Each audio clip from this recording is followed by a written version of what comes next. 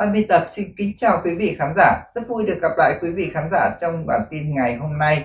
Bản tin cập nhật những tin tức nóng nhất trong 24 giờ qua mang đến cho quý vị khán giả. Sau đây, xin mời quý vị khán giả cùng theo dõi những điểm tin chính mà chúng tôi vừa cập nhật. Kính chào quý vị khán giả. Bản tin của chúng tôi ngày hôm nay xoay quanh thông tin một cơn bão mạnh tên là Talim trong những ngày vừa qua đã đổ bộ đảo Hải Nam của Trung Quốc khiến nơi này tê liệt. Chính quyền Hải Nam cho biết bão đổ bộ vào hòn đảo này vào lúc 2 giờ dạng sáng nay, gây ra những cơn mưa to và gió giật mạnh với vận tốc 162 km/h, khiến toàn bộ trường học, hệ thống giao thông trên đảo phải ngừng hoạt động. Lượng mưa lũ cực lớn cùng với bão mạnh đã đánh sập một trung tâm nông nghiệp chính của tỉnh Hải Nam, cuốn trôi hàng nghìn con gia súc, gia cầm và nhấn chìm nhiều diện tích hoa màu. Trước sự giận dữ khủng khiếp của mẹ thiên nhiên, người dân nơi đây chỉ biết bật khóc nức nở khi chứng kiến đàn gia súc của mình chết sau khi bị nước lũ cuốn trôi, nằm trồng trơ bên đường và trong phút chốc cả cơ nghiệp tan biến. Cũng theo nguồn tin từ Taiwan News cho biết, bão mạnh cũng đã gây ra lũ lụt và lở đất, nuốt chửng các đoạn đường cao tốc và buộc hàng nghìn người phải sơ tán. Theo ghi nhận, chỉ khoảng vài tiếng đồng hồ mà số người thiệt mạng lên tới 32 người. Một số người được báo cáo là mất tích. Cơ quan khí tượng Hải Nam dự tính thiệt hại do cơn bão mạnh Talim gây ra rất nặng nề bởi đây là cơn bão mạnh nhất có sức hủy diệt lớn nhất đổ bộ vào hòn đảo này trong một thập kỷ vừa qua. Mưa lũ đã khiến cho một số nơi bị ngập lụt cục bộ, có nơi ngập từ 1 đến 1,5 mét. Cũng tại thành phố Vân Khẩu, Hải Nam, mưa lớn đã khiến nước lũ trên sông lên nhanh và trong phút chốc đã cuốn trôi hơn 300 con heo của một gia đình tại đây.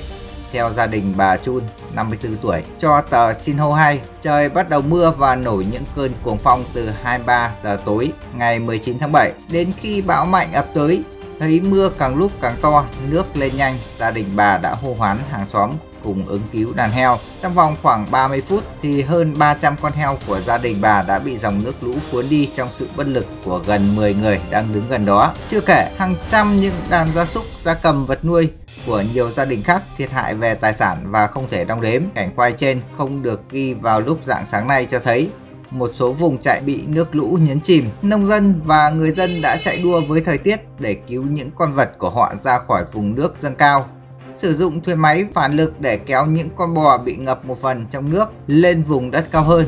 Nhưng tất cả đều bất lực vì nước lũ quá hung hãn, nếu họ không chạy thì mạng sống của họ cũng sẽ bị cuốn theo những đàn gia súc, cũng theo tờ Thâm Quyến Online. Sáng nay, trích thông báo của chính quyền tỉnh Hà Nam cho biết hiện tượng mưa lớn đã xuất hiện ở địa phương này. Từ đêm ngày 24 tháng 7, mực nước mưa trung bình đo được 342,3 mm Thậm chí lượng mưa đo được tại thị trấn Trương Trang lên tới 440,1 mm. Thông tin cho biết thêm, mưa lớn đã gây ra hiện tượng lũ quét tại huyện Nghi Nam vào lúc 8 giờ sáng nay và cuốn trôi ít nhất 250 con bò của một trang trại chăn nuôi gia súc trong địa phương. Nhiều người chưa xác định con số cụ thể cũng bị cuốn trôi. Sau khi hình ảnh được chia sẻ, ai nấy đều bày tỏ sự xót xa trước những khó khăn mà người dân Hải Nam phải đối mặt do ảnh hưởng từ bão mạnh. Nhìn mà xót xa quá, Cả năm tích góp nuôi được đàn bò đàn lợn giờ trắng tay chỉ sau một đêm. Người dân khổ quá, cả một gia tài lớn chết uổng phí gì đâu.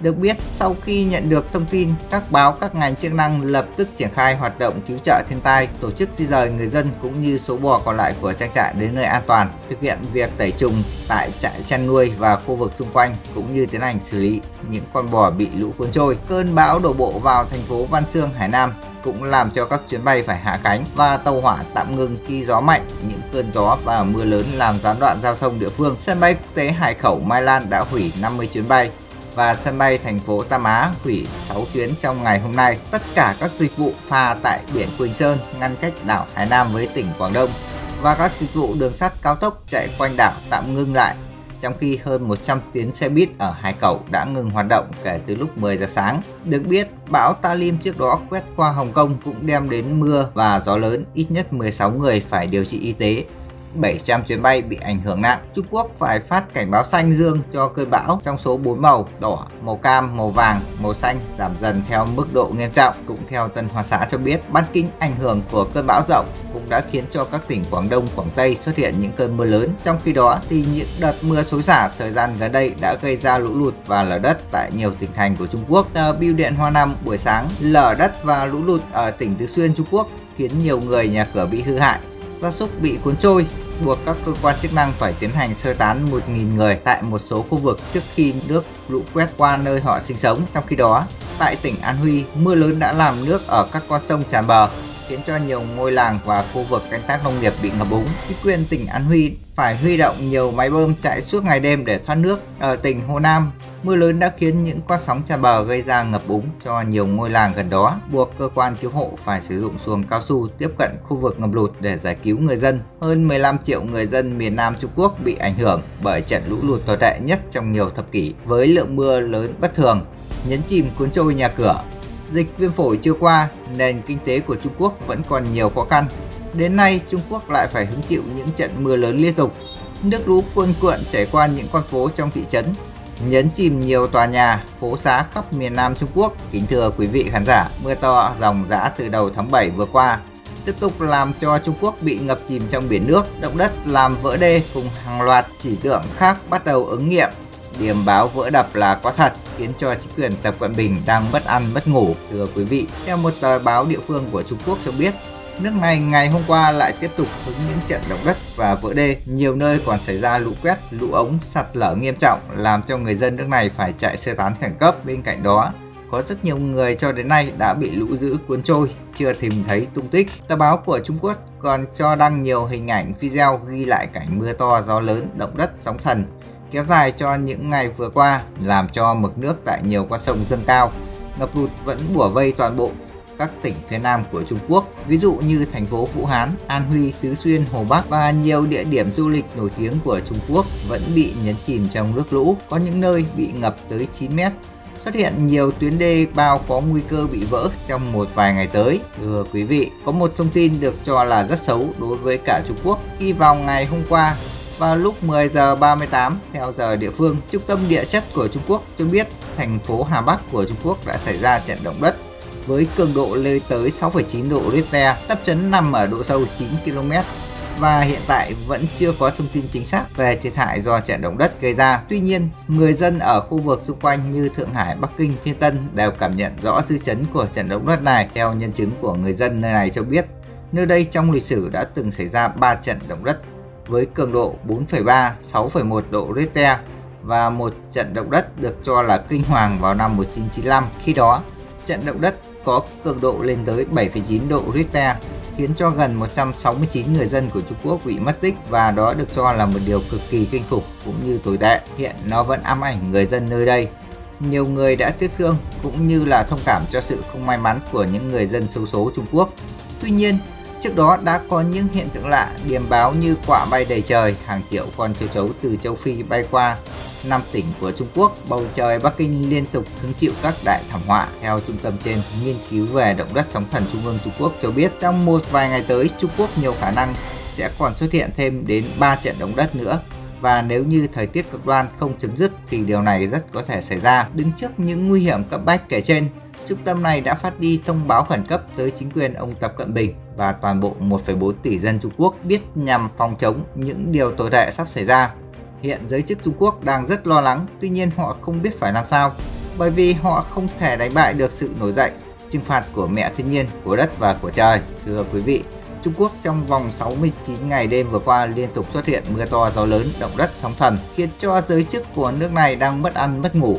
Và trong một bài phát biểu mới đây tại thủ đô Bắc Kinh hôm qua, đích thân người đứng đầu Trung Quốc, Chủ tịch Tập Cận Bình nói rằng tình hình kiểm soát lũ ở đất nước này đang gay go và bước vào giai đoạn nguy hiểm nhất trong lịch sử. Đề nghị các cơ quan, ban ngành và người dân hết sức cẩn trọng. Tờ báo China Morning Post, một trong những tờ báo nổi tiếng của Trung Quốc, vào ngày 25 tháng 7 đã trích dẫn lời ông Tập Cận Bình, Chủ tịch Trung Quốc kêu gọi nỗ lực toàn diện trong các hoạt động cứu hộ, cứu trợ tại những khu vực bị ngập lụt trên khắp đất nước này, nhấn mạnh rằng đảm bảo cuộc sống an toàn của người dân là ưu tiên hàng đầu. Được biết, đây là lần đầu tiên Chủ tịch Trung Quốc Tập Cận Bình lên tiếng nói rằng sẽ bảo vệ cuộc sống cũng như an toàn của người dân Trung Quốc đại lục trước mưa to.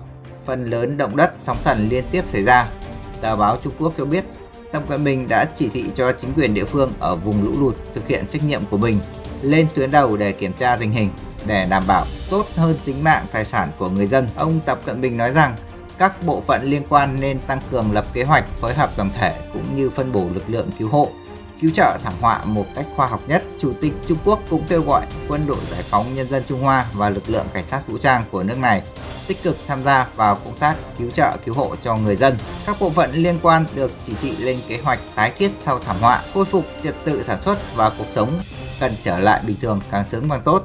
Sau khi đẩy mạnh nỗ lực kiểm soát lũ lụt và công tác cứu trợ thiên tai, tờ báo của Trung Quốc cho biết trong những ngày gần đây, lũ lụt và mực nước dâng cao lên hầu hết tại các tỉnh phía nam của Trung Quốc đứng trước tình hình đó. Chính phủ của nước này đã nâng mức ứng phó khẩn cấp lũ lụt từ cấp 3 lên mức độ cao nhất, tức là cảnh báo đỏ. Tất cả các tỉnh Hồ Nam, Hồ Bắc, Giang Tô, Giang Tây, Quảng Đông, Quảng Tây đều nâng mức độ cảnh báo lên cấp cao nhất. Được biết, mưa lũ ở Trung Quốc đã ảnh hưởng tới khoảng 60 triệu người dân trên nhiều tỉnh thành.